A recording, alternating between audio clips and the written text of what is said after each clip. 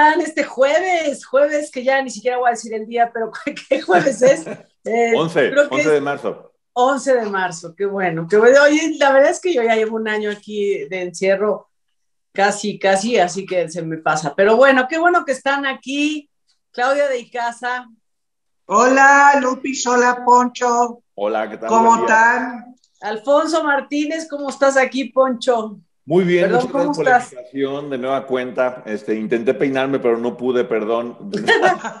A, las personas que les molesta mi peinado, les juro que intento, pero no sé, no sé, no me sale. Pero gracias por invitarme a pesar de estar despeinado. Oigan, eh, fíjense que tenemos muchos temas ahora sobre, bueno, no muchos, pero temas muy fuertes e importantes sobre la mesa. A ver, Poncho está aquí de vuelta, además de porque nos encanta que esté con nosotros y nos acompañe y enriquezca este programa, es porque además todo el mundo se le fue encima a Poncho, que cómo era posible que estuviera defendiendo a Joseph Stock, Jocelyn Hoffman y no sé qué, y pum, a la yugular. Bueno, pues Poncho está el día de hoy para decir por qué y cómo y poner sus puntos sobre las IES. También vamos a hablar todo lo que, porque una cosa, otra cosa es que comentamos la entrevista, el lunes comentamos la entrevista de Meghan Markle con, y Harry con Oprah Winfrey, que la vieron millones y millones y millones de personas en el mundo y que ha hecho eco muy fuerte. Y también nos decían, ah, lo que pasa es que ustedes no saben porque Megan, porque esto, porque los príncipes, que son idiotas, ya sabes, ¿no? Bueno, nosotros lo que hicimos... Eso es dijeron, Lupis. Es que nos decían ignorantes, nos decían ignorantes, que yo sí lo soy, lo, claro que lo soy, pero eh, que porque no sabíamos que no podía ser príncipe y que porque Megan, porque había... Bueno, ¿saben qué? Nosotros lo único que fue, hicimos fue consignar la entrevista, hoy la vamos a comentar y, todo lo que ha sucedido después de ese día. Y tenemos también, porque nos dijeron, no, es que ustedes tienen que cambiar su horario de grabación, que les insisto, no podemos, pero bueno. Eh, sí, oye, que porque de pronto, oye, el, otro día con lo de Cepillín, pues caímos en blandito, ¿no? Porque pues, estábamos pues en la transmisión y, y, pudimos comentarlo, pero hazte de cuenta que era esperar, esperar, esperar al minuto en el que hablábamos de la muerte de Cepillín, porque antes era el comentario de no, pero es que ellas graban antes, entonces ellas no saben que se murió Cepillín, porque empezamos hablando de su gravedad, ¿no? Claro. No, no podemos cambiar el horario, al menos no, podemos cambiar. No, pero además me da risa porque, bueno, eh, nos escribían, no saben, mal informadas, ya se murió, bueno, se tenían que haber esperado a que acabara el programa para que supieran que sí lo mencionamos, pero bueno. Entonces, pero vamos a hablar, ese día salió también esta denuncia de Melanie Carmona Villarreal, hija de Arturo Carmona y Alicia Villarreal. Por supuesto, no lo tocamos porque no lo habíamos visto, pero con mucho gusto hoy lo vamos a platicar, que esto ya es una locura. Yo siento como que se está desmoronando el mundo. Sí. Es una avalancha de denuncias que cada día me sorprende más yo creo que el fenómeno es que unas están impulsando a otras y que todavía nos falta muchísimo por ver. A mí lo de Melanie me sorprendió muchísimo y les voy a decir por qué. Porque su mamá siempre en todas las, bueno, no, estoy, no le estoy echando la culpa a la mamá de Melanie, por favor, ¿eh? pero siempre era así como cuidarla muchísimo y lo que sí me sorprendió es que cómo es posible que Carmona se venga enterando de lo que le pasó a su hija a nivel público. Claro, eso lo vamos a comentar ahorita. Nomás antes hay que mencionar la muerte de Isela Vega, de, que murió el día de ayer, una actriz tototota con una carrera cinematográfica estupenda, pero por supuesto de televisión, en toda, de teatro, eh, pero además versátil, pero además una mujer, yo creo que una mujer muy vanguardista. ¿Cómo lo ven ustedes? Completamente. Este, yo, creo que, yo creo que además se convirtió de alguna forma en estos momentos en un ícono para la gente joven después de haber estado en la Casa de las Flores y en muchos lugares. Ella tenía una mentalidad muy de acuerdo a lo que ahorita está pasando, un poco más de libertad, un poco más de romper con los esquemas. Este, y mucha gente la adora, tanto la gente de su generación como estas nuevas generaciones que a mí me impresiona como mucha gente, muchos chavitos, todos la ubican y todo el mundo la conoce. Entonces creo que la señora finalmente creo que era mucho más grande de lo que se pensaba, ¿eh? Creo que, creo, creo, que su imagen y creo que su personalidad era mucho más fuerte de lo que muchas veces uno pudiera imaginarse y pues bueno, lamentablemente hace falta muchas veces que mueran para que uno reconozca y le dé el valor a las personas que se merecen. Sí, tienes razón, Poncho, porque de hecho yo te voy a decir, yo admiraba muchísimo, bueno, admiro, porque al final de cuentas la sigues admirando, a Isela Vega, porque como dijo Lupita, eh, eh, le hacía de todo, era guionista, pero también representaba a, las mujeres en muchísimas cosas, era el ejemplo de pronto de, las mujeres que no se dejaban sin tener que cantar como este, Paquita la del barrio y, Rata de dos patas y todo ese rollo, porque eso era Isela Vega.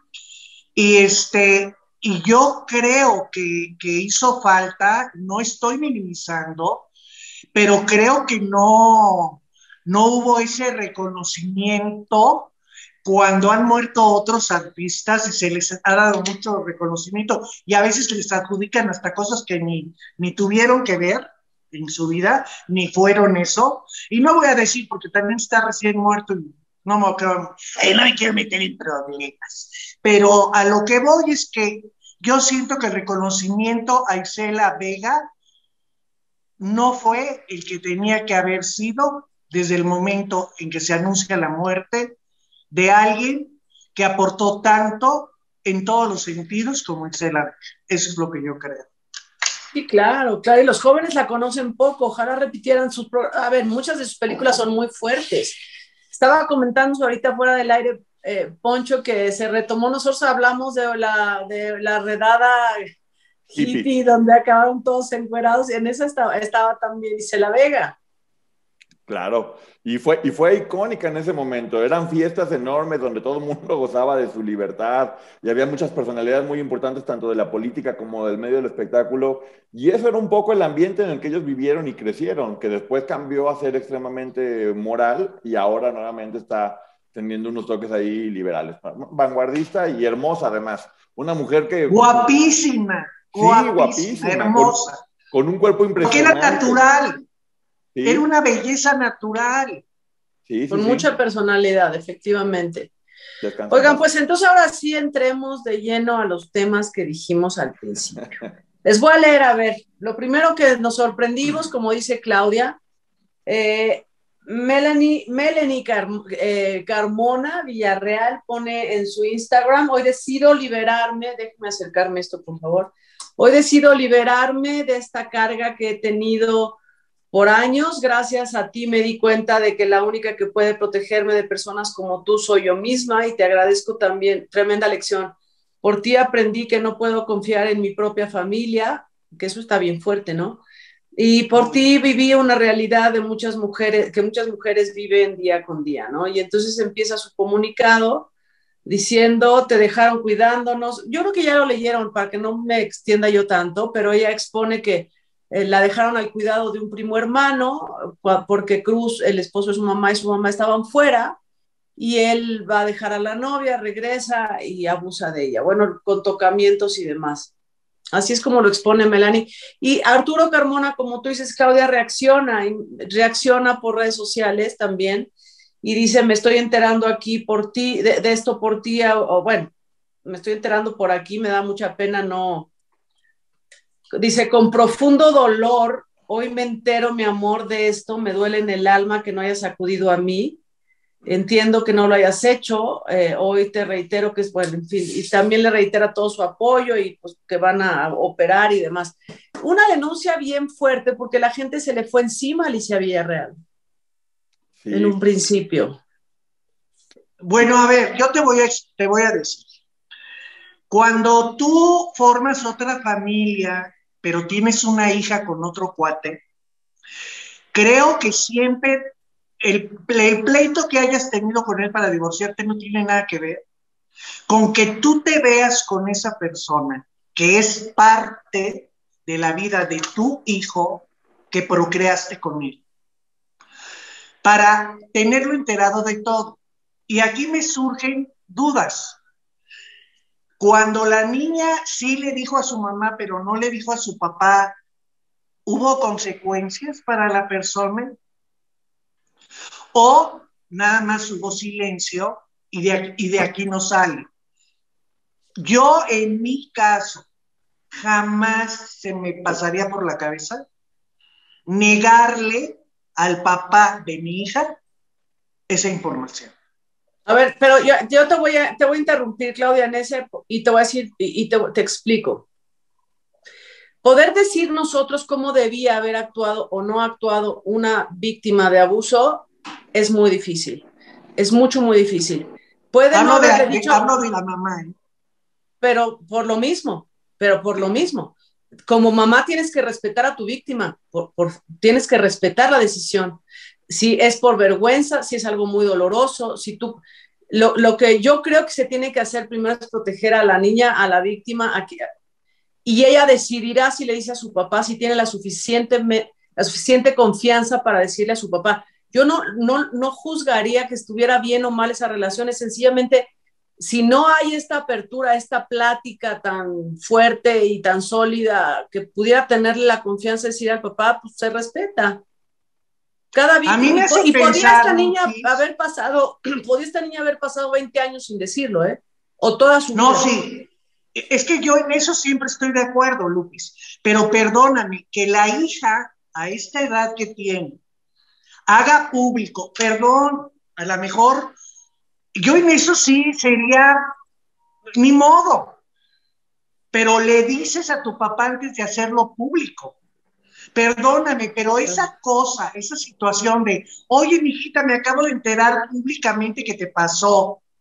Tu mamá no me dijo, porque ese es el mensaje que están enviando. Tu mamá no me dijo, no me hizo partícipe de algo gravísimo que te pasó.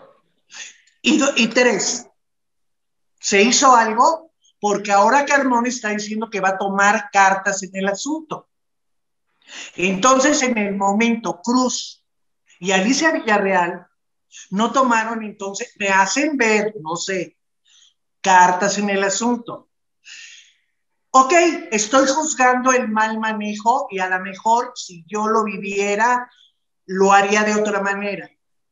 Pero creo que cuando estas figuras públicas sacan lo que hay en su interior tan grave, tan fuerte, tan doloroso, lo siento, Lupis, pero se van a tener que aguantar que la gente opine que hizo mal o hizo bien o lo que sea.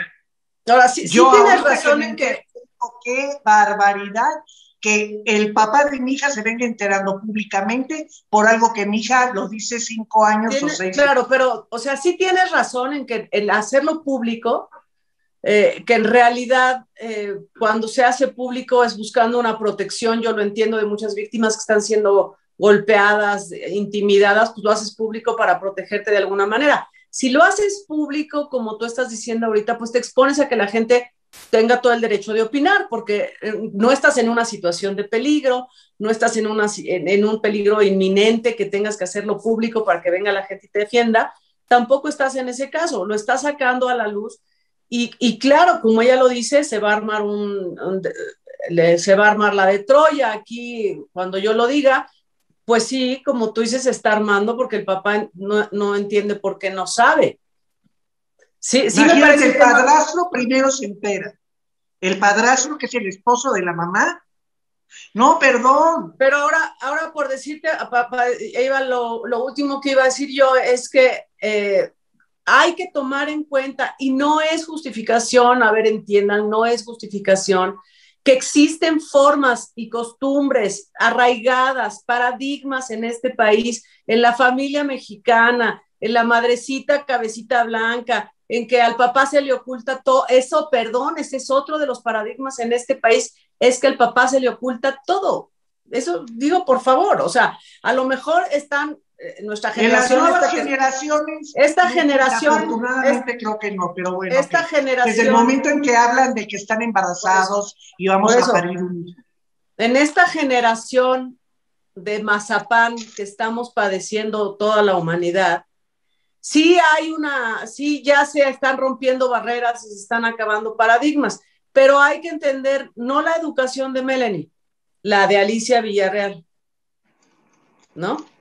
Hay que, no, yo no digo que esté bien y que esté mal, solo hay que entender. Poncho, tú dinos.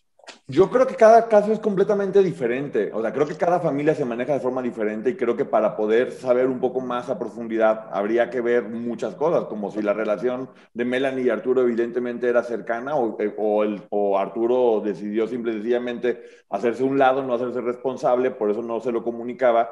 Y ahora ya sabemos cómo este medio, cuando ella lo hace público, él decide también a, a dar una hablar del tema para quedar también bien ante la gente y no quedar mal.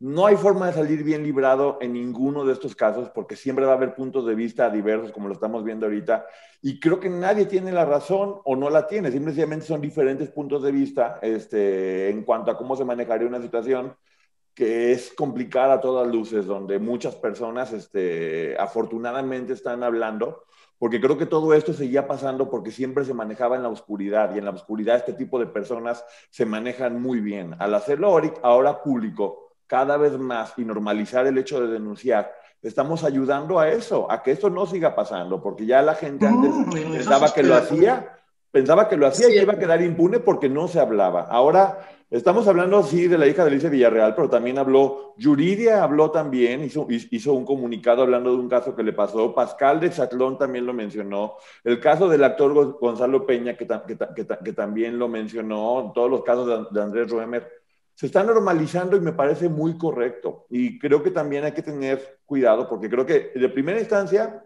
siempre hay que creerle a la mujer que lo diga pero también creo que nunca hay que juzgar a, quien se le esté acusando hasta que no haya pruebas de que es verdad, porque son dos cosas muy complicadas.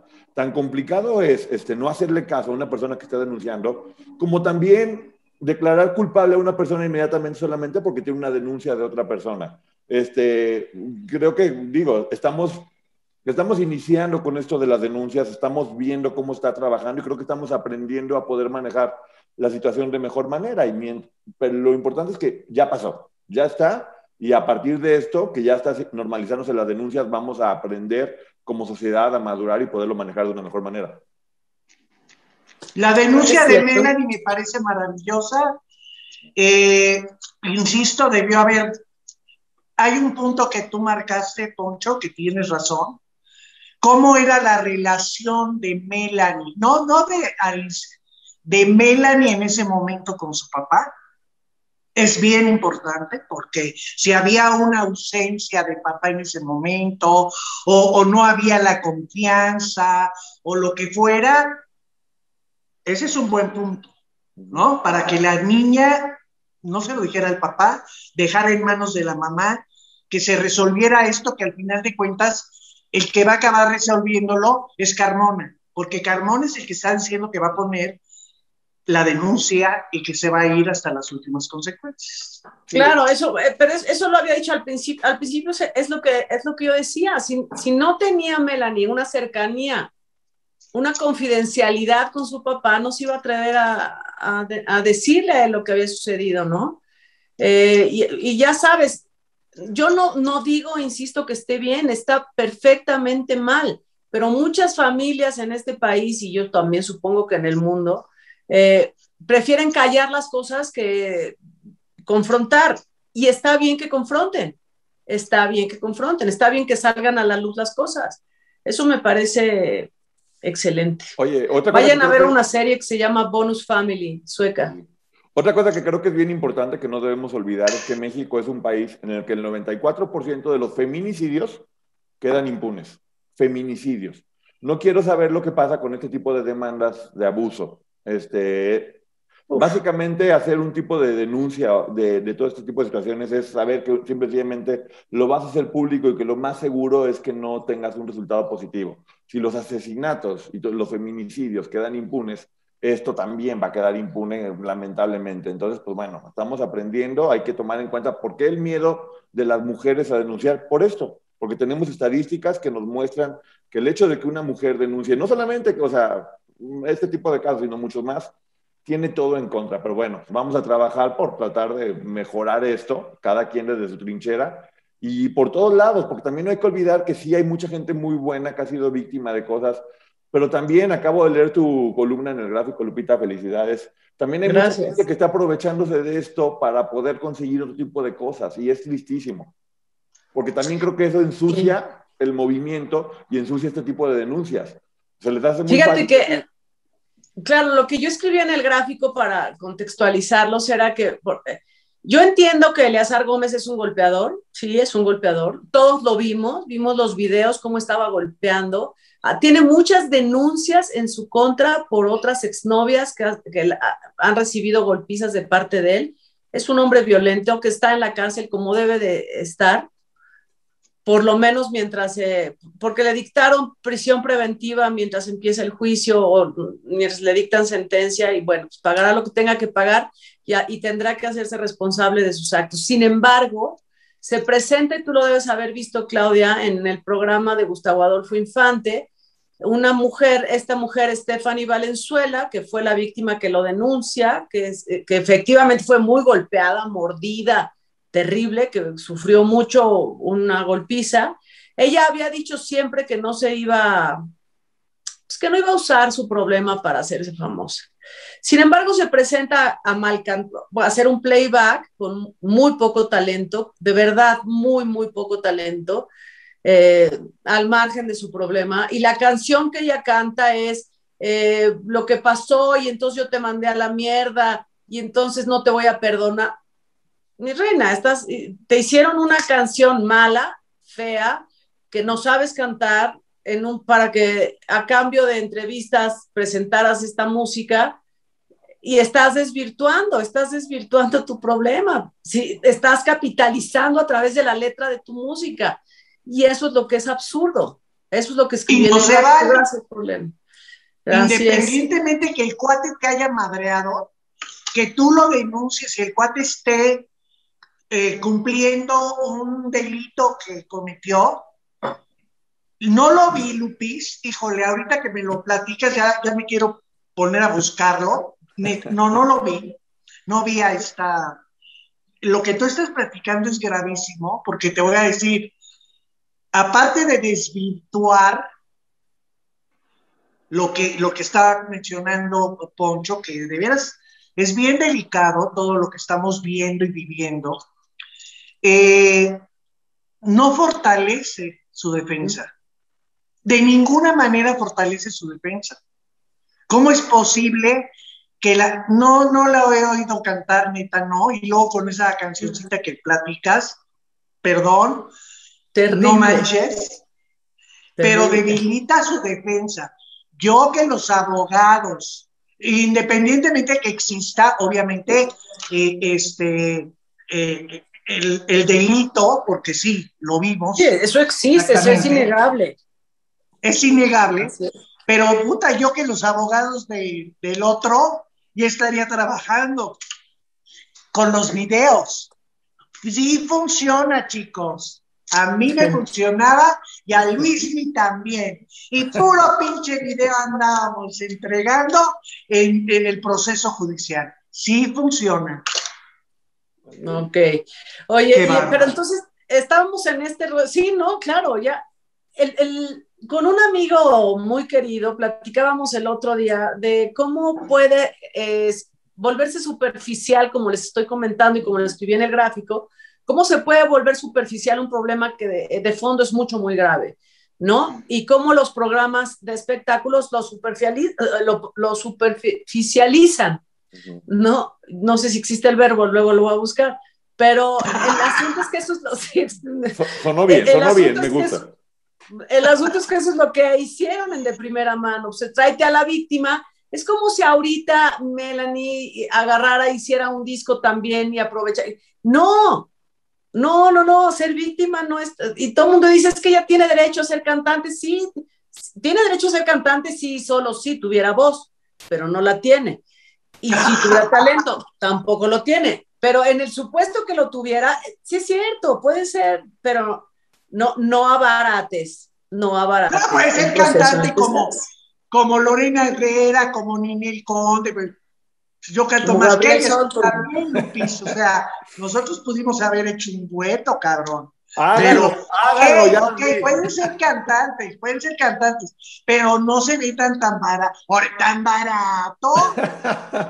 Como diría Luisillo, qué barato, qué barato. Oye, y entonces seguimos, eh, también platicamos, porque, ¿qué es el tema? Que Poncho está aquí, vamos a poner los puntos sobre la S. El jueves pasado mencionamos el, el caso de Just Stop con Ainara y entonces, bueno, Poncho expuso su punto de vista y sobre todo no solo punto de vista, Poncho expuso de acuerdo a lo que sabe, porque él tiene cierta información.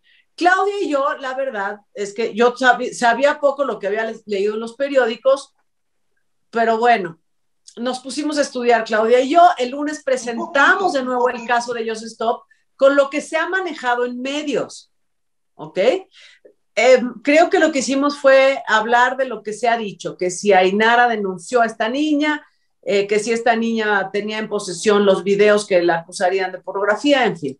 Hoy sale en el, eh, los abogados que se apellidan Cajal, que son de José, ¿cómo se llama? José, Hoffman, Hoffman. Hoffman, que es Joseph Stop, sale su abogado Cajal y dice, dejen de molestar a mi clienta en medios porque ella es, eh, o sea, hay que ejercer la presunta inocencia, todavía no ha sido acusada, no es culpable de nada todavía, y así que ya contrólense, ¿no?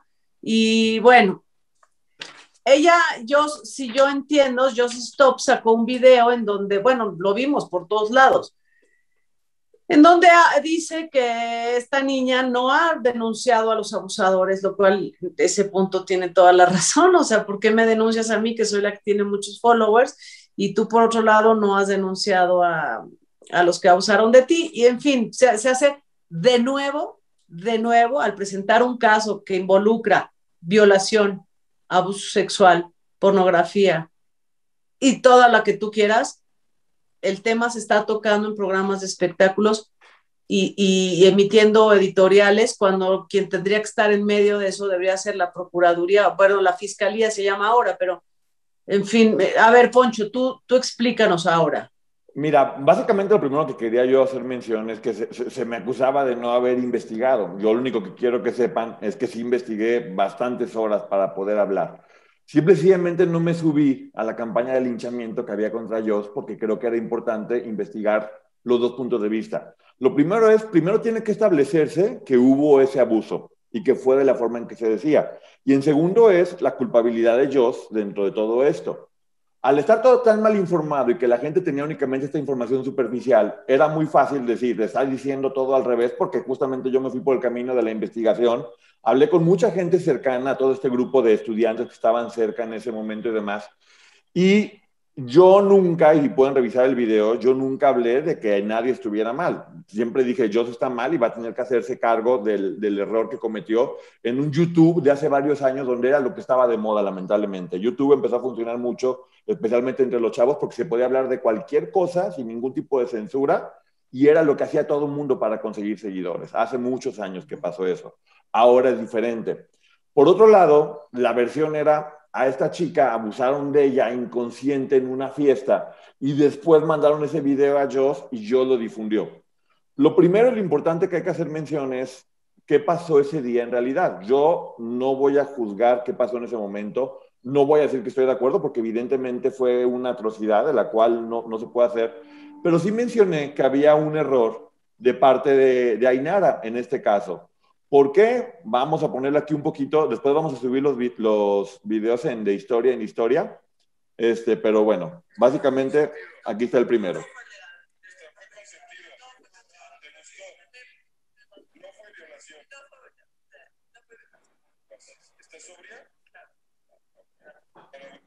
Este fue un video de ese día de la chava que tienen todas las personas de testigos, que está en TikTok y está en todos los medios, está disponible, no es un video que yo tenga únicamente, en el que ella dice que estuvo de acuerdo en hacer eso, que no está tomada y que disfrutó mucho hacerlo. Estaba tomada, no estaba tomada, son cosas que no sabemos, simplemente dije que fue un error para ella haber sacado estos videos porque quitan un poco este, de fuerza a lo que ella estaba mencionando. Pero hay un video que existe donde ella lo dice. Después hay otro video en, en el que ella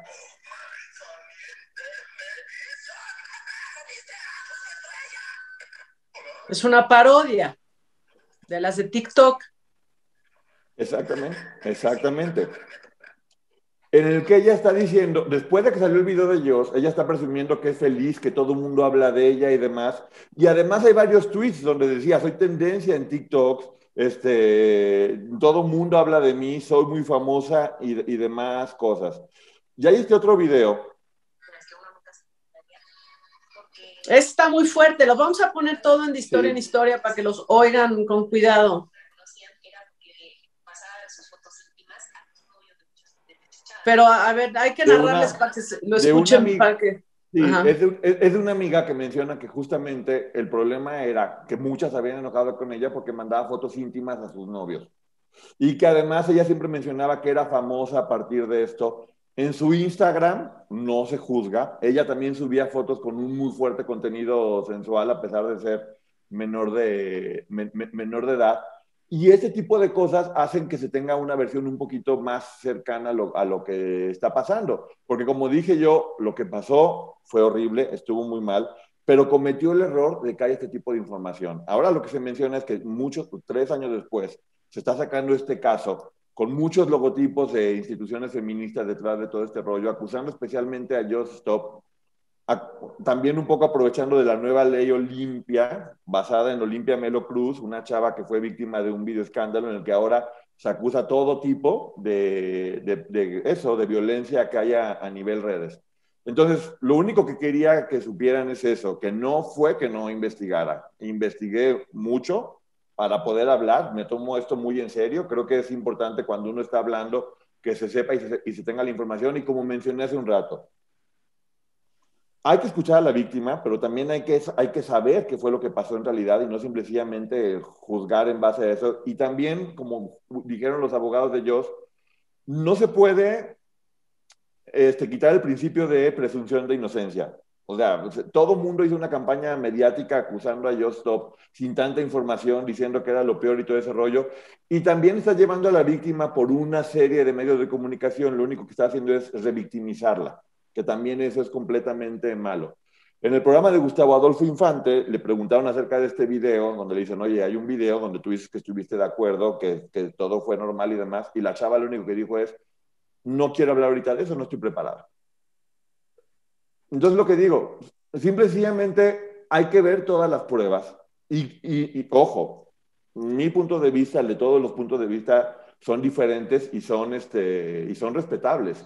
Todos vamos a tener puntos de vista diferentes, pero creo que sí es muy importante poder ver todo lo que hay para poder tomar un punto de vista. Todo lo que dije, y si vuelven a ver la entrevista, es justamente lo que dijo Joss, lo que ha estado pasando y ahora con este tipo de nuevas pruebas, porque para mí sí era importante, no, no que respetaran mi punto de vista, porque to, punto de vista todos tenemos y, y, pueden estar de acuerdo, no, eso no importa. Lo único que sí quería que quedara bien claro es que si investigué, si se imitará bien, si me tomé en serio el hecho de venir a hablar y decir lo que se está haciendo.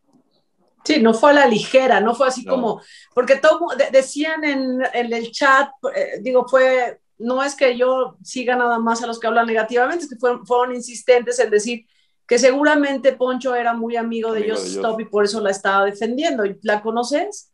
No, no, no la conozco. No la conozco más que lo que tiene que ver con, con redes. De hecho, bueno, también quiero agradecer porque la gran mayoría de la gente tiene comentarios muy bonitos, pero hubo como cuatro personas que pusieron ese tipo de comentarios con muchos me gusta.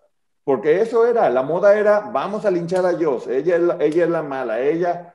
Y la, yo leía lo que ponían y decía, es que eh, hay una mala información muy fuerte y esta mala información lo que está haciendo, no hay que olvidar que también la chica Inara tiene que llevar un proceso y ojalá se haga justicia en el caso de ella en base a lo que pasó, que la, la justicia va a decir. Pero también es gravísimo que yo finalmente soy una chava que trabaja, que mantiene a su mamá, que está dando fuentes de trabajo y que un buen día de repente está metida en un problema de este tipo, que es un linchamiento mediático por mala información, porque mucha de la información no, no, no, no es correcta, no hay todos los elementos para poderlo hacer. Yo sí creo, mi punto de vista, que efectivamente eh, lo que sucedió fue algo muy malo. Estaba platicando con Lupita justamente porque me puse a buscar para tener un poco de contexto. El promedio de edad en el que la gente en México inicia la vida sexual son 15 años. Y el 40% de la gente inicia la vida sexual entre los 12, 13 y 14 años. Entonces, es un hecho que México es un país en el que la gente muy joven, como lo mencionaba con ustedes, que decía que ya parecía abuelito, desde muy joven empiezan a tener una vida sexual activa y hacen un montón de barbaridades que a lo mejor uno no lo puede entender, pero pasa y ahí está, y están de acuerdo en hacerlo. Claro. Tenemos un montón, México es de los países que tiene más embarazos de adolescentes que son peligrosísimos para salud porque no están completamente desarrollados. El hecho de que la estadística diga que la vida sexual de nuestros adolescentes empieza siendo tan jóvenes, casi niños o preadolescentes, no es que sea, no es que esté bien o mal o que sea parte de nuestra naturaleza, no, es que es una gravísima falta de educación sexual en este país, en donde, como te decía Clau, porque eso, eso es lo que creo, las familias solapan, toleran, ocultan, ponen abajo de la alfombra, eh, no le digas a tu papá este, que no se entere. Siempre es la, no es cierto que vivimos en un país que aparentemente es patriarcal, pero todo lo resuelve la mamá, la mamá es la que carga con el hijo adicto, ¿no? Y eso es lo que pasa. Y entonces tienes este tipo de problemas de hijos que tienen que salir, que buscan otras cosas, que no hay una muy poca cultura deportiva, que pudieran, en fin, muy poca orientación. Ahora, hay una cosa que también eh, entiendo que por ley, y eso no, no lo afirmo, si alguien del público lo sabe y son abogados porque los hay, creo que tiene que existir una cierta diferencia de edad para que se considere abuso. Ahora, un mayor de edad con una menor siempre es abuso. O sea, con una menor de 18 siempre es abuso. Aunque tengas, porque no sé si han visto series y películas y casos reales en Estados Unidos en donde los meten y los catalogan como abusadores sexuales cuando el chavo tenía 18 y la niña 17 iban en la escuela. ¿No? Pero bueno, así las cosas entonces. Oigan, a mí yo nada más quería comentar que vi el video de Jocelyn, este, en donde se apropia hasta de, términos legales y, no hombre, estaba, pero le escribieron una página maravillosa y se la aventó, cabrón. Creo que sí sabe la niña poner en contexto cómo fue, porque al final de cuentas yo en el programa anterior había dicho que sí había cometido el delito porque, porque estaba hablando de que Ainara era una chica con una moral, este, Baja. perdida, que era una puta, que era esto, que era el otro, pero no, no está hablando concretamente del video, porque ese video tiene razón, Jocelyn. Estaba en redes, no, o sea, el que lo tuviera ella o no, existía, punto. Ella está hablando de, este, del video donde se están, se están madreando unas escuinquitas, o sea, o se están madreando a esta niña, ¿no? Unas amiguitas supuestamente de los cuates, que, que fueron los que violaron a, a esta niña, que me pareció muy bien la explicación, fue con una cronología perfecta, uno más uno, dos, dos más dos, ta, ta, ta, muy bien, me aclaró muchas cosas, pero bájale tres rayitas porque tu mamonería de veras hace que uno salga corriendo. Hay muchas maneras de decir, fíjense bien, pendejos, la cagaron. Y así está el asunto, y uno, dos, y tres. Hay muchas maneras. Y me cayó de un mamón. Que yo dije, ok, le voy a dar la razón a Jocelyn en esto. Porque te voy a decir algo, a nivel legal, no le van a poder hacer nada, no lo que me haya convencido. Pero ya expuesto en el contexto esto, los abogados de Ainara no van a poder hacer nada con José. Obviamente tienen que ir tras esos cuatro cabroncitos, que son los que deben de estar en la olla, ¿me explico? Pero neta, Jocelyn, bájale tres putas rayitas. Porque eso de que los medios se colgaron de mí porque yo, uh, chingón acá, yo muy... Bájale, bájale, bájale. Porque además te voy a decir algo. Hablaste de los medios. Los medios hablamos de tu casa. En contra, a favor o como sea. Pero hablamos, chula. Pero ¿qué, te, qué crees? Chula. Yo no voy a volver a hablar de ti porque ya me cuelgan muchos de que me cuelgo de Luis Miguel. Está bien, está bien. Pero que me cuelgo de Jocelyn Hoffman, no mamen. Oye, perdón. otra cosa que para mí es muy importante, que también lo había mencionado y fue verdad, ese video donde se ve que están golpeando, no fue que la chava estaba y llegaron estas mujeres y lo golpearon. Dicho por ella misma, quedaron de verse en el parque para golpearse. Ella fue sabiendo que se iba a agarrar a golpes con otra chava, porque la chava estaba enojada porque estaba mandándole material que no le gustaba al novio.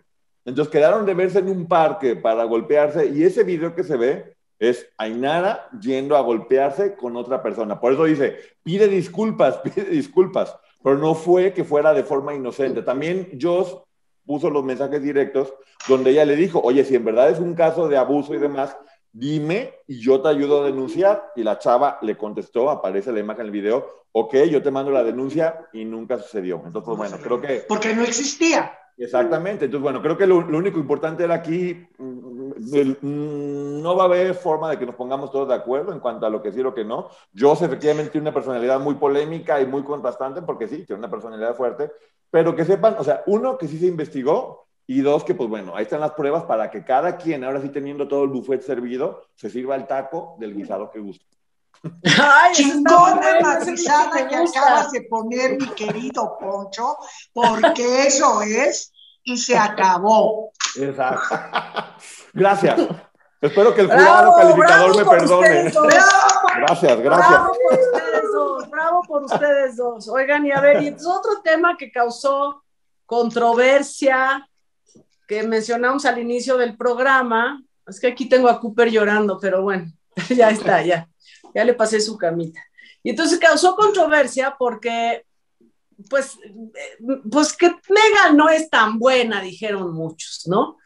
Y que la verdad es que ahí fue a rajar que si había racismo y que si todos eran, todos menos la reina y el príncipe Felipe, que son ya muy mayores, todos habían sido pues no iban a decir nombres, pero que la Kate no era ni tan buena como decían y que luego Carlos ni siquiera le contestaba el teléfono a Harry y que pues francamente dice Harry, él debería entender porque pues él también sufrió y demás.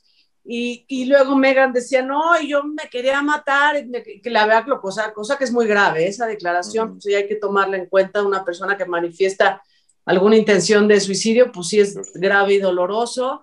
Y hablan de que también hubo un recorte económico, todas esas cosas que dijeron en la... Entonces todo el mundo, a ver, pues es pobrecita Megan, ay, yo hasta, yo también reconozco que yo dije, no, pobre Megan, de veras, qué hojadras, ¿no? Y, y de veras la pinche realeza, ya hasta puse en Twitter, este, no, buenos días a todos menos a los, la realeza racista, la verdad. Pobre, sí, qué feos, de veras, de, de modos tan feos, pero bueno, no, pues resulta que todo el mundo dijo, a ver, espérate, porque el príncipe Harry, que seguramente ha vivido un duelo muy largo con respecto al caso de su mamá, que por supuesto debe tener un rencor terrible y un dolor terrible contra la monarquía por la muerte de su madre, pues compara a Meghan con, Meghan con Lady Di y, y, todo el mundo, oye, pues sí, pero Lady Di tenía 19 años cuando se casó y Meghan tiene 40 y es divorciada, y a ver, pues también, ¿no?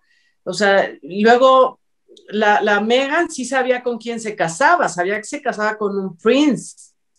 Otra cosa que dijimos es que se habían quejado de que a sus hijos no les iban a dar el título de príncipes. Está bien, yo tampoco, Claudia, no sabíamos tampoco, Luis Magaña, sabíamos las reglas de que solamente se les da el título de príncipe a los herederos como van a ser los hijos de William por ejemplo, pero eso yo no sabía, oigan, francamente aquí en México ni hay realeza. Bueno, sí. Pero no, pero para nada, aunque vivan en un palacio, cabrón. Un palacete, pero bueno, pues entonces total que ahí, salió. Y entonces también salió Samantha Merkel, que en febrero había presentado, había hablado del libro que va a publicar, donde pues dice que sí, que se rompió la relación, bueno, se fracturó la relación de Megan con su papá y ella misma, que es su media hermana, pues porque en ellos nomás habían vendido unas fotos a unos paparazzis y Megan los cachó. y ahora que pasa esto, dice, Samantha dice, la verdad es que Megan es una narcisista, eh, que aquí ya lo hemos tocado ese tema, es una manipuladora y el príncipe Harry vive el síndrome de Estocolmo. Y yo dije, yo creo que sí, yo la verdad sí creo, porque además, pues oye, mira, dice el príncipe Harry, bueno, eh, sí nos cortaron financieramente, pero mi mamá me heredó una lanita y con eso... Que ya me estoy gastando. Que ya me está, claro, claro, que con esa lanita, con esa lanita nos fuimos a la isla de Vancouver a vivir, en donde les dije que les prestaron una casa y después ya se establecieron en Los Ángeles y que pues sí, pues sí tiene lana, pero que pues les cortaron. Bueno, pues también qué querías, te estás quejando de ellos y quieres que te sigan pagando, pues tampoco pero que tienen ya contratos con Spotify y con Netflix para crear contenidos, así que pues que lana no les va a faltar. Y me acordé de ti, Claudia de Casa, porque tú dijiste, a ver si no nos votan al príncipe luego. Fíjate, van ustedes. Oye, bueno, yo, sé que, perdón, yo sé que Claudia... Claudia tiene que cerrar con broche de oro porque yo la veo que está apasionada y todo ese rollo y sé que... Sí, Claudia, sí. Claudia es broche de oro. Sé, sé, que la que va a tener toda la información emocionante va a ser Claudia. Sí, yo también creo. No, la, tenemos que cerrar con broche de oro y Claudia no, va a estar increíble. Nomás hay dos cosas que yo quiero mencionar un poco. Este fue el principio de todos los problemas, que es el, es el guardaespaldas, James Hewitt, Diana, que es idéntico idéntico al príncipe. A partir de ese momento se pensaba que era hijo de él y es donde inició todo lo que tiene que ver con la discriminación y todo eso. Punto número uno. Punto número dos, este, se hizo muy grande porque la realeza es amada, odiada y hay un conductor muy importante ya que se llama Pierce Morgan del programa Good Morning Britain que se le ocurrió hablar mal justamente de, de, de ella diciendo que no le cree y lo despidieron. Entonces, eh, se hizo un escándalo enorme porque era una de las personas más queridas del programa más visto y lo despidieron, porque, pues bueno, evidentemente hay gente que le cree y hay gente que no. Y punto número tres, antes de pasar con Claudia, yo agradezco tanto a esta gente que me hagan sentir tan bien de ser medio pinche, porque qué horror ser de la realeza. Mm, no hay manera de que yo quiera estar en eso ni que se me antoje. Creo que a todos nos genera un poco de gusto decir, ellos que son millonarios y famosos y la están pasando tan mal, gracias vida por no estar en este lugar. Así que, Claudia, bienvenida. Qué emoción. Voy al punto de tu fotografía que sacaste, Ajá. En efecto, hay un parecido ahí porque además el ángulo en el que, en el que sacan las fotografías está cabrón, pero ¿qué creen? Existe la información y es real de que exactamente Carlos cuando nace Harry, sí le manda hacer una prueba de ADN. Y él cuando se entera que sí, Harry, pelirrojo y como quiera que espera, y muy parecido al otro, si es su hijo, porque no se hubiera permitido de otra manera. Si es su hijo, él tiene, bueno, yo leí un artículo que luego se los voy a conseguir y lo se los voy a traer, pero digo, no lo traigo hoy, que él empieza a sentir mucha, este, no lástima, pero culpa. Como, sí, como cosita con Harry. Entonces Harry, si leen algunas notas, Harry en algunos momentos es el consen de Carlos. Entonces, por ese lado de que por ahí viene todo el rollo, no lo creo, no lo creo. Ahora, qué bueno, Ponchito, que digas, como yo también digo, que guácala la realeza, porque les voy a decir algo. Lo que yo ahorita voy a aportar no es por salvarle la corona a la realeza, pero sí hay que ponernos en el contexto de Harry y Meghan. Meghan miente, bueno, miente como el de la mañanera. Miente desde el momento en que dice que no sabía quién era Harry. No mames, no me vengas tú a decirme a mí que no sabías quién es Harry, porque lo has de haber tenido perfectamente medido. Punto número uno. Punto número dos. Eso de el racismo es un buen recurso que buscó ella para mover y hacer todo un tsunami dentro de lo que está ocurriendo ahorita en la realeza porque están muy lastimados, porque ella y Harry, pero más bien ella llevó de la mano a Harry porque se la pone arriba.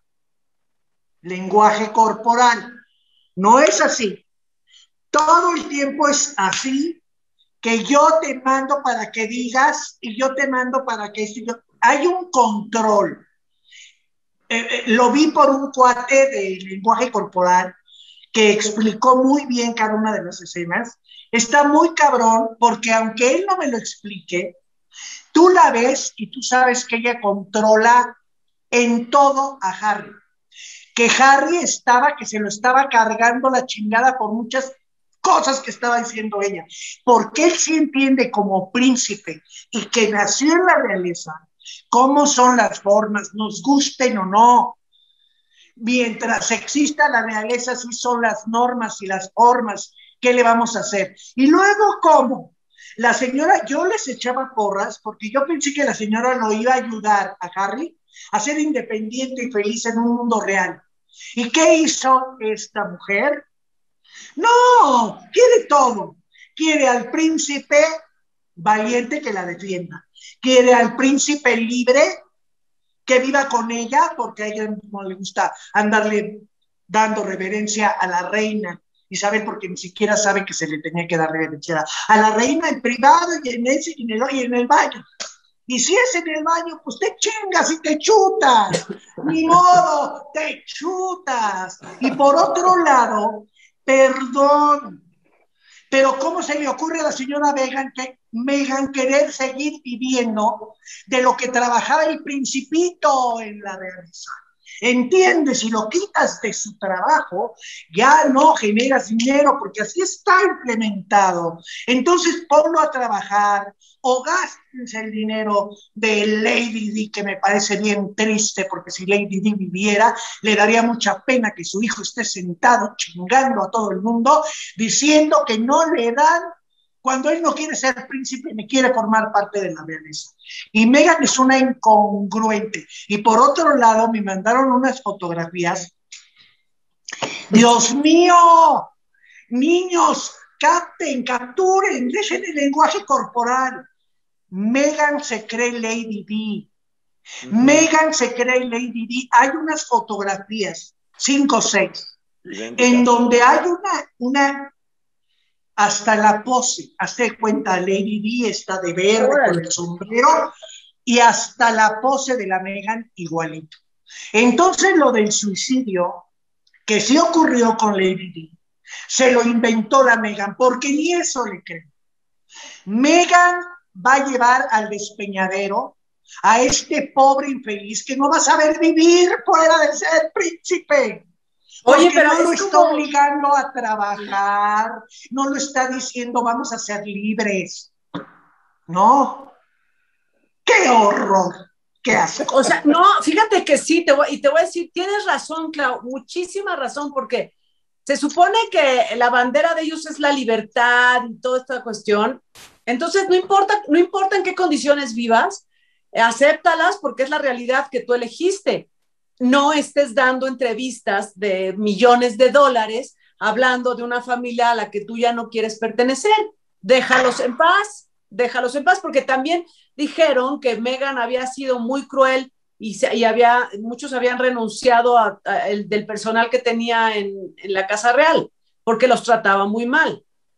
Y sí me parece enfermito lo que estás diciendo de este parecido que ella quiere tener con Lady Di. Ahora, además, muy planeado, ¿eh? Porque hablar de racismo con Oprah Winfrey, o sea, ¿y por qué no lo dijiste en el Daily Mail? ¿Por qué no lo dijiste en, no sé, hay otros shows muy buenos y muy grandes, ¿por qué no lo hiciste? ¿Por qué lo hiciste precisamente con Oprah? Se está vendiendo la imagen de víctima ante la persona más vulnerable, porque la que sí fue víctima de la realeza real, porque ella sí quería ser reina Ella sí quería ser princesa. Ella sí creyó en su, en su príncipe sapo. Es Lady D. Pero no, me te vas a de carambas, porque yo no te la compro, no te la compro, ni siquiera lo del suicidio, güey, nada te compro. Pon a trabajar a tu príncipe si lo quieres libre. Y sabes qué, si quieres vivir dignamente, que tu príncipe, ah, ah, ah pues ahora las parejas trabajan dos para, para este, llenar la, la, papa y, y, todo lo. Pues también tú le trabajas, güey, y que le trabaje el príncipe. Y no me lo vayas a soltar en cualquier coladera, cabrona, porque tú fuiste la que lo sacaste de su reino. Se acabó. Oigan, creo que es bien importante también mencionar que finalmente la monarquía es una empresa. Es una empresa. Yo, yo no me quiero imaginar que en México tuviéramos una familia que no hace nada, manteniéndola y siendo millonario por simplemente estar y, no hacer nada en realidad. Eh, Poncho, lo tenemos cada seis años. bueno, sí, pero bueno, de, forma más oficial. Por, allá tienen dos. Tienen a los que se encargan de, de acá, más aparte ellos. Entonces, finalmente, ellos tienen, son una empresa y el hecho de estar dando de qué hablar y, y que, y, que y que sigan siendo populares y que sigan siendo una imagen más fuerte, como yo digo, no hay publicidad buena o mala, todo es publicidad, porque casualmente también en esta entrevista, de la que siempre se habla bien es de la reina. la reina siempre poderosa y siempre grande y fuerte, pero tienen, pero tienen funciones, Poncho. No nomás se la pasan rascándose por ahí. Eh, los príncipes tienen funciones, cabrón. Entonces, ¿qué le pasa a Megan?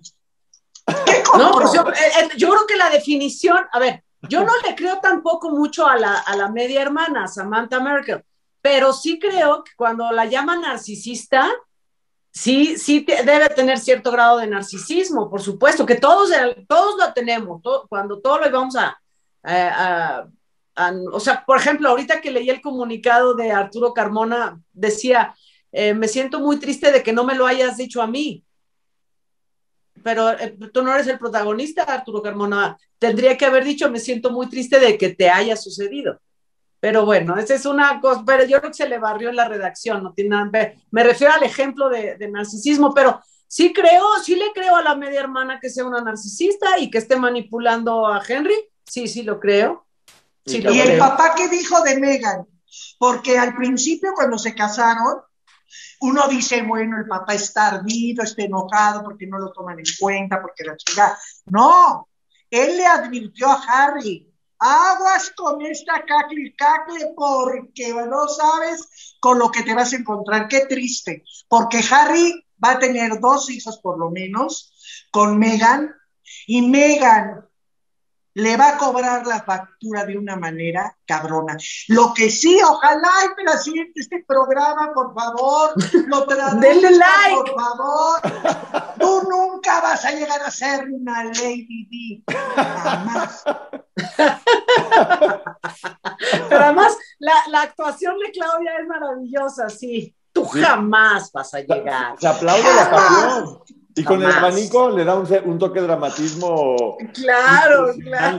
Con el toque. Por favor, hagan viral este video que le llegue a Megan. ni te esfuerces, ni te esfuerces, ¡Ah! Megan. oye, pues sí, sí tienes razón, Poncho. Es una institución, y como dice Claudia, tienen funciones.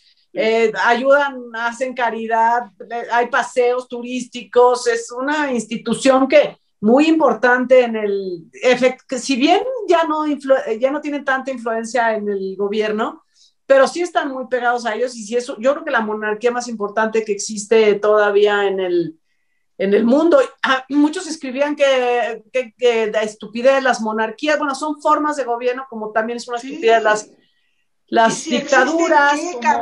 Imagínate, Lupi, ¿sabes otra crueldad que cometió Megan? Neta, güey Agarra y sale. Y no, no Megan, el pendejo de Harry. El pendejo de Harry agarra y sale y dice, y me da mucha lástima mi padre y mi hermano, porque están atrapados. No, pendejo, el que está atrapado en un rollo muy loco eres tú, porque ellos están viviendo dentro del contexto de la realeza. ¿ok? Tú estás en medio, cabrón. Estás con una actriz que te va a volver loco, con una actriz que no te va a ayudar para que seas libre, con una actriz que te manipula. Eso es, Harry. Estoy muy enojada contigo. No sé, no, no, sé también cuánto tiempo vaya a durar esto de las monarquías con la nueva generación de Mazapán, porque ya nos quitaron a Pepe Lepú, ya Vaselina, la película ya es lo peor, ya la tienen que quitar. Y pues bueno, creo que esto es un clasismo también grande, o sea, el hecho de, separar a las personas por niveles como de estas valen más, estas menos, todo este rollo.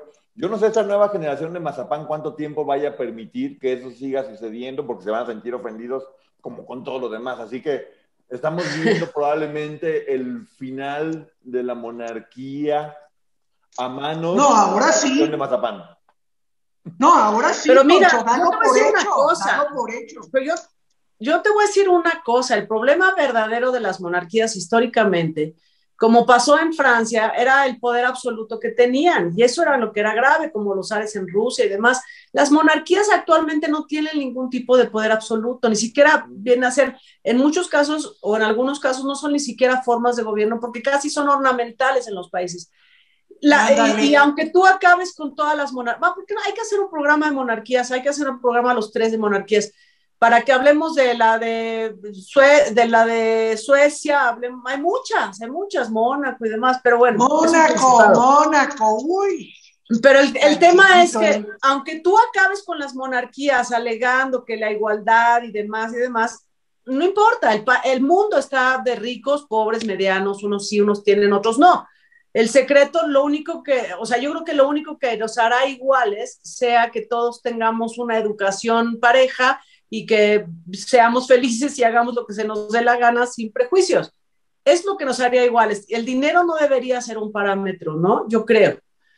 Y aunque Pero además los títulos tampoco, Lupis. Ya oíste a Poncho, ya me oíste a mí. Nos vale madres pertenecer a la realeza. Guácala, qué flojera. Por eso, pues que siga con su corona. Aquí en México, aquí en México no tenemos monarquía, pero van a estar de acuerdo el público. Yo aquí soy la amargosa, pero bueno, van a estar de acuerdo el público en que aquí no tenemos monarquía, pero, pero sí, sí gana el que tiene más dinero y no importa el origen, ¿eh? Claro. Que es lo peor todavía. No importa el origen del dinero. Y eso los hace reyes. Y eso los hace más poderosos. Mira, yo creo que lo que nos va a seguir divirtiendo es darnos cuenta cómo finalmente son la realeza, pero tienen los mismos problemas, pero con chongo. Porque Ándale, todos van al baño. Las, las, concuñas que se odian, los hermanos que tienen celos, la suegra maldita que le dice cosas, o sea, es, es, lo mismo que puede uno escuchar en cualquier familia, en cualquier casa, nomás con chongo y muy derechitos todos. O sea, Oye, lo que yo ya, lo que mencionaste hace rato, sí es un tema también que deberíamos tocar ampliamente, porque esto de que Pepe Lepe le van a quitar y Speedy González y la película Vaselina, no puede ser que nos estemos privando, por ejemplo, de, de, esta película que era maravillosa, Lo que el viento se llevó, que HBO no la pudo poner, la puso. Pero ahora Vaselina. Por eso, pero no, pero quitaron, pero quitaron esta, esta película de lo que el bien se llevó y hay muchas cosas que no pueden ver porque se sienten ofendidos. Por Dios, o sea, me parece de un vacío brutal y de una falta de preparación que un personaje te ofenda o, tienes que estar muy acomplejado para que lo, hagas personal. Mejor deberían promover los cuatro acuerdos y uno de ellos es no lo tomes personal. Si el zorrillo persigue a la zorrilla, bueno, pues allá hacer entre especie y ya. Estaba enamorado. Oye, pero ¿oyeron las razones de lo de Vaselina? ¿Por qué, por, qué, por, qué la están queriendo censurar? Una es porque los protagonistas son dos heterosexuales blancos. Absurdo, ¿no? Y la segunda es porque en una parte de la canción es cuéntanos, cuéntanos si se te resistió. Dicen que esa es una violación. Yo creo que en un, lenguaje, favor, en un lenguaje mexicano esto se llama si se dio su taco, si se dio a desear, como dirían aquí las abuelitas. O sea, creo que a eso se refiere la canción. Cuéntanos qué tan difícil fue convencerla este, de, ser tu novia. Pero ahora ya dice, no, cuéntanos, cuéntanos si se te resistió. Ya lo ven como un... No, o sea, al ratito, perdóname, al ratito de la de la muñeca fea de Cricri va a estar prohibida, eh, te solté la rienda de José Alfredo, claro, ¿por qué? Porque los cuentos de Cachirulo bien torcidos, bien torcidos. No, no, no, mira, es por las mentes torcidas. Exacto, claro, que es lo que decíamos de la niñita que pusieron a bailar Paul en Paul Dancen hoy, no, si no son las cosas, las que están mal, son la mente retorcida de las que lo están viendo. Entonces, me parece estúpido que protesten por ciertas cosas y no protesten por cosas verdaderamente graves. Pero bueno, en fin, niños, ya hemos acabado verdaderamente enardecidos. Vamos al recreo y volvemos. Oigan, nos queda pendiente entonces el tema de las monarquías. ¿Y cuál otro? ¿Y la generación de Mazapán o qué? Generación de Mazapán, y yo creo que está bueno, todo lo que están cancelando creo que está muy bueno hacer como un recuento de todo lo que están cancelando y por qué. Este, Ay, sí, sí, sí, sí. Pero me parece muy bien. Suscríbanse al canal, por favor, lo tendría que haber dicho al principio del programa, pero bueno, no importa. Suscríbanse al programa, denle like, compártanlo, síganos en redes. Vamos a poner en redes la, esto de la, los videos. videos que nos presentó para que los escuchen bien, los ponemos en las redes del programa y ahí los, ustedes los ven y ustedes juzgan y formen su opinión, no discutan tanto, no, cada quien su opinión, vamos a escuchar todas las versiones. gracias, Poncho, por estar con nosotros este jueves. Muchas gracias de nueva cuenta por permitirme estar con ustedes. Siempre un gusto y también agradecer a la gente que tiene bonitos comentarios. Y los que me pegan también, creo que hasta lo disfruto, es muy divertido. Gracias. Claro, claro. y yo te lo digo por experiencia. Sí. Gracias. Sí, hay que divertirse. Gracias, Lupis Poncho, un placer. Gracias siempre por tu aportación maravillosa. Yo te disfruto mucho y nos vemos en la siguiente, que va a estar peor, más cabrón. Muchas gracias a todos y nos vemos el próximo lunes y ya saben, déjenos sus comentarios, síganos, pongan la campanita, por favor, para que se acuerden de que va a empezar el programa. Eh, los queremos. Bye, chicos. Buen fin de semana a todos. Gracias, Gracias producción. Gracias, producción. Gracias por vernos. Gracias, producción.